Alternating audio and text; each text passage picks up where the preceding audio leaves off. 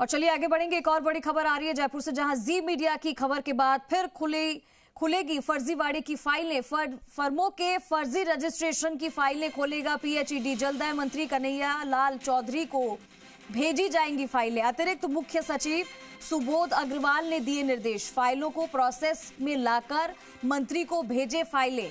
BSR firm के फर्जी registration की जाँच रुकी हुई। ट्यूबवेल कार्य में फर्जी प्रमाण पत्र पर कार्रवाई नहीं हुई। डीएस की जाँच में बजरंग बली फर्म के प्रमाण पत्र पाए गए थे। मैसर्स मांगीलाल बिश्नोई के गाड़ियों का रजिस्ट्रेशन नहीं था। तो देखिए, ये तमाम जो बातें हैं वो आपके सामने हैं कि जी मीडिया की खबर के बाद फिर खुलेंगी फर्जीवाड़े की फाइलें। तो जितना भी फर्जीवाड़ा हुआ है, अब उन पर नकेल भी कसी जाएगी क्योंकि अब फ़ाइल खुल जाएगी। फर्मों के फर्जी रजिस्ट्रेशन की फ़ाइल खोलेगा पीएचईडी। आशीष चौहान हमारे साथ, ज़्यादा जानकारी के लिए हमारे सहयोगी जुड़ चुके हैं, उनका रुख करते हैं। आशीष, जी मीडिया की खबर के बाद यह असर हुआ है कि अब फर्जीवाड़े की कुछ फाइलें खुलेगी, जिसमें कई सारी चीज़ों का ज़िक्र किया गया है। क्या है इसको लेकर तमाम जानकारी?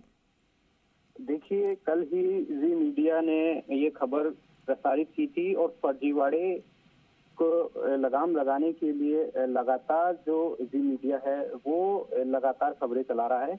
और एस सुबोध अग्रवाल ने जिस तरीके से जी मीडिया की खबर के बाद में निर्देश दिए हैं कि इन फाइलों को फिर से प्रक्रिया में लाया जाए इनका प्रोसेस फिर से शुरू किया जाए और इन्हें मंत्री को भेजा जाए। यानी कि सीधे तौर पर ये फाइलें जो है मंत्री तक भेजी जाएगी यानी कि मंत्री के संज्ञान में पूरा मामला आ गया है। और बीएसआर मांगीलाल बिश्नोई और जो दूसरी फर्म है जिस वजह से तमाम जो फर्मों की जाँच है, वो लंबित है, फर्जीवाड़े पर लगाम नहीं लग पा रहा है।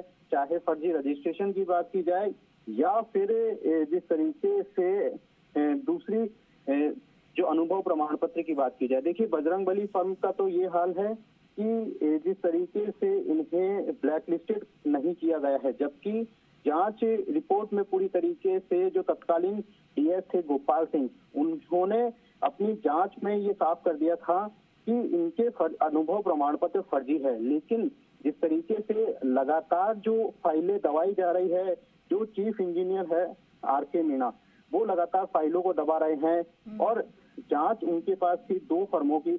लेकिन इसके बावजूद भी उनका ये कहना है कि मेरे पास कोई जाँच नहीं है। यानी कि सीधे तौर पर पल्ला झाड़ते हुए दिखाई दे रहे हैं, लेकिन खबर के बाद में अब एक्शन कितना हो पाता है, कितनी तेज़ी से फ़ाइल आगे बढ़ती है और कितनों पर कार्रवाई होती है, ये समय बताएगा। लेकिन फ़िलहाल जाँच के लिए एसीएस ने निर्देश दे दिए जी। ठीक है, आशीष, इसका मतलब कि जी मीडिया के खबर दिखाने के बाद ये बड़ा एक्शन भी लिया जा सकता है, लेकिन एक्शन कब लिया जाएगा, इसका इंतज़ार इसको देखना बाकी है। लेकिन लेकिन यहाँ पे जो जितने बड़े भी फर्जीवाड़े हुए हैं, उनकी फाइलें अब भेजी जाएँगी और साथ ही जो अलग अलग चीज़ों में फर्जीवाड़ा हुआ है, उसकी पोल जो यहाँ पर खुलती नज़र आ रही है और अब जब इन पर एक्शन लिया जाएगा तो उसका सीधा असर होगा इन लोगों के ऊपर।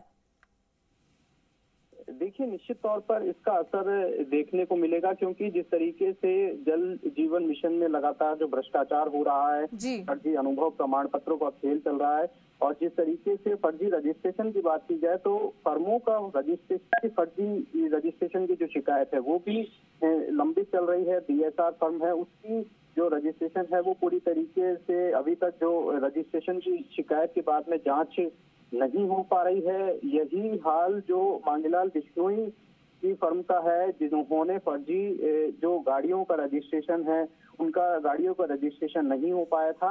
और तीसरा जो मुद्दा है वो ठीक है आशीष बहुत शुक्रिया आपका इस तमाम जानकारी के लिए।